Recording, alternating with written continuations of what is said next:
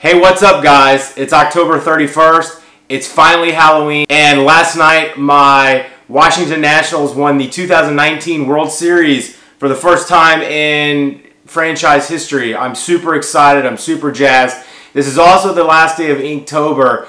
I'm currently working on editing my sketchbook tour for the remaining weeks. Uh, I've already released my first week, um, so I'm just working on some editing right now. I'm really excited to get back to just regular drawing, regular artwork. The challenge is really tough. It's something that is a little bit out of my comfort zone.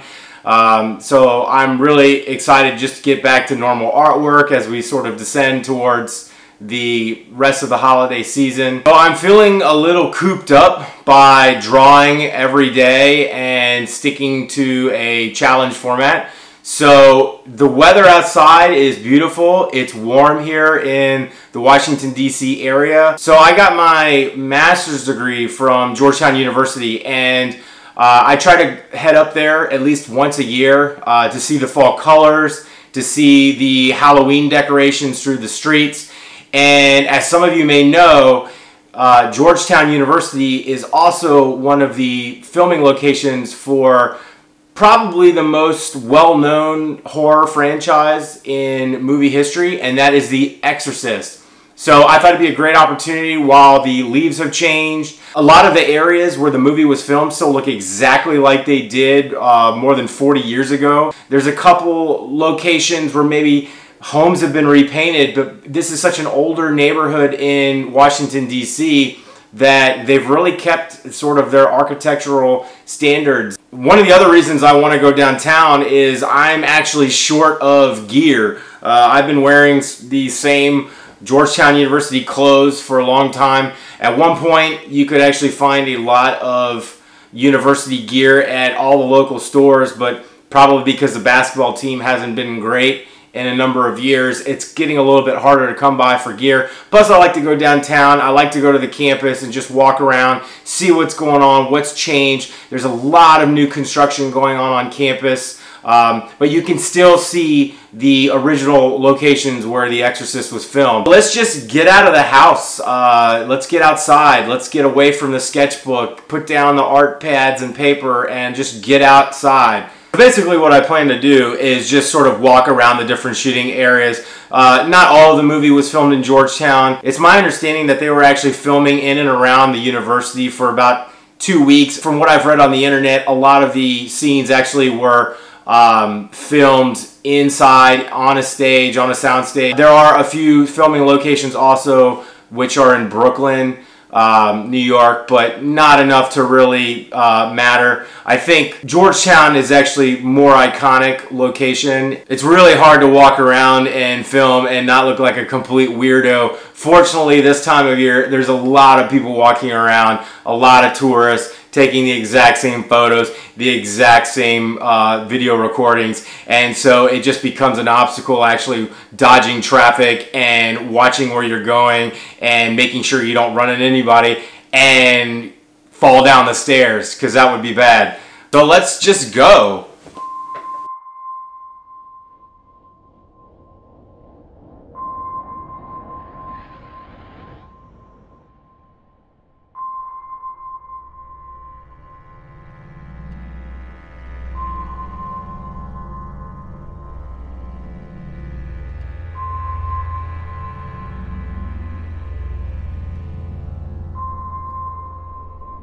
Starting off on the mule path down on the C&O Canal. Now this is the furthest spot uh, on this tour and the reason I picked this first is because it was an incredibly busy day downtown and I was really concerned that I was going to either get ticketed or towed. Um, but this is a spot in the movie where Chris MacNeil is pleading with Father Castor's character uh, to try to perform the exorcist on her daughter Regan. Now I will insert a couple shots from the movie um, and so you can see some of the buildings line up. Now there are a number of bridges along the C&O Canal on this stretch, but the main identifying uh, area for the movie is this cobblestone street and it's clearly visible in the movie itself. Okay, now let's head up to main campus. Now, this is the other set of famous steps from the movie, and these head up to Lauinger Library, which you can see here. And this actually extends up onto the main campus. So there are two scenes uh, here. Ellen Burstyn's character walks down here. Uh, this is just the way she comes home from her shoot at night.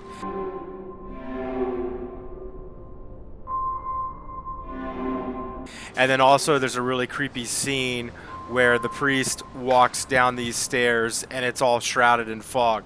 Now behind me, further down Prospect Street, is the actual exorcist house. So this is kind of going in reverse order, but here we are heading up to campus. And as I'm walking by here, I hear a group of students literally complaining about how long they've been in the library for. So it brought back some memories.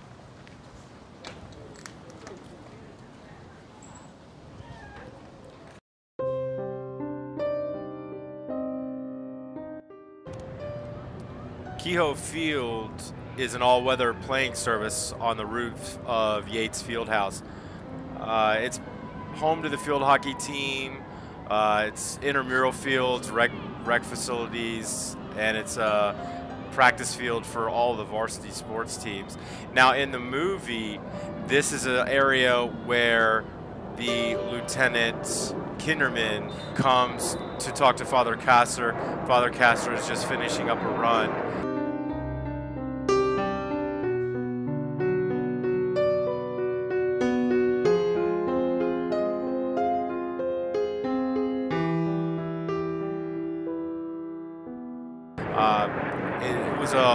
Grass field at that point. Most of the buildings around did not exist. It's closed off today. And as we make our way down uh, an access facility here, you can see the new uh, football stadium. There's actually a girls lacrosse game taking place. Only one of the dorms in the background is visible in the movie. I've done a bit of research. I can't tell if the tennis court visible that they walk by is still here or if that's been uh, bulldozed for some of these other facilities.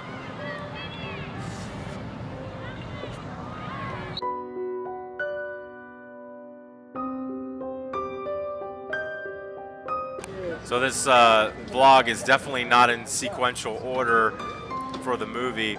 Uh, but this is entering main campus. There's a shot of Healy Hall, and Gaston Hall is actually in front. It's where I graduated. This is the oldest building on campus. It's over 200 years old. It's on the National Historic Register. And the statue is John Carroll, who is the founder of the university. Now, this scene is pretty well known. This is where we're first introduced to Chris MacNeil. She is acting uh, here on the stairs, and we also get introduced to Burke Dennings.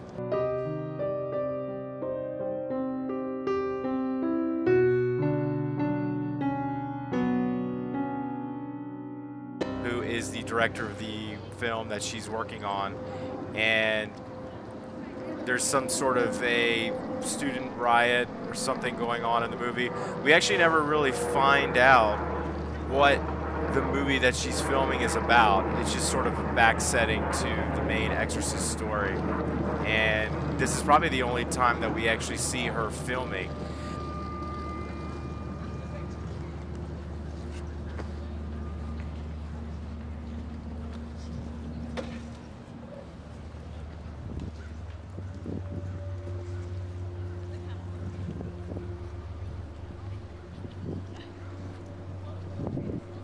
There's a couple times that Father Castor actually walks across these red brick walkways, um, heading to and from Dahlgren Chapel and also his room. And there was multiple events going on campus this day, and I thought these pumpkins were actually pretty cool.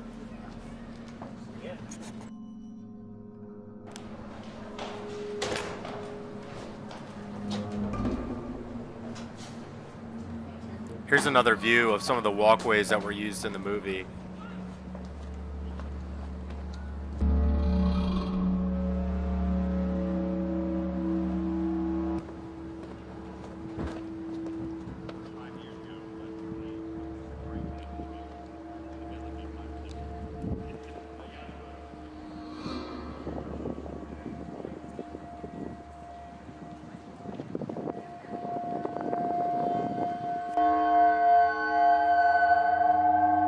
This here is Dahlgren Chapel, dedicated in 1893.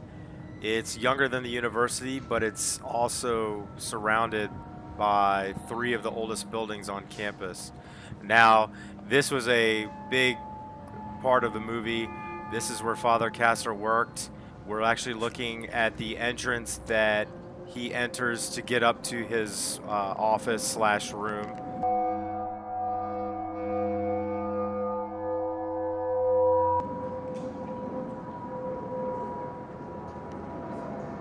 This gazebo also featured prominently in the movie.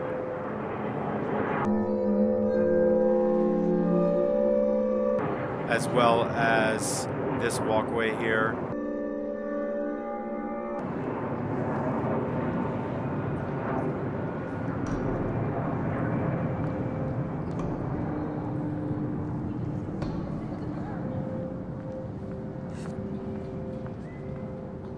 I'm all but certain that only exterior footage was used of Dahlgren Chapel as it is a functioning chapel and there were a lot of anti-Christian uh, gore and effects that were used in the movie. I had to get a little creative filming this scene because there was a huge wedding going on.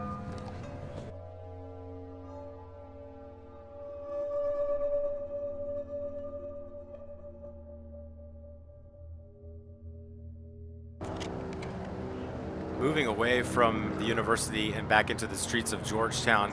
Here we are at 36th and O. This is one of the directions that Chris MacNeil takes, turns a corner, and walks towards her home uh, on Prospect Street.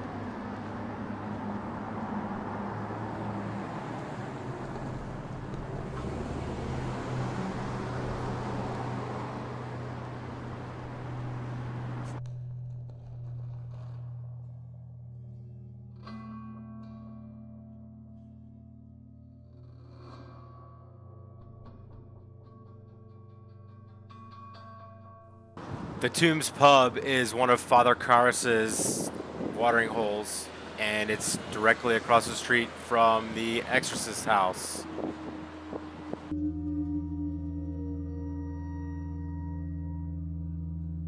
Even though a good majority of the movie was filmed from the perspective of this house, uh, only the exterior footage was used.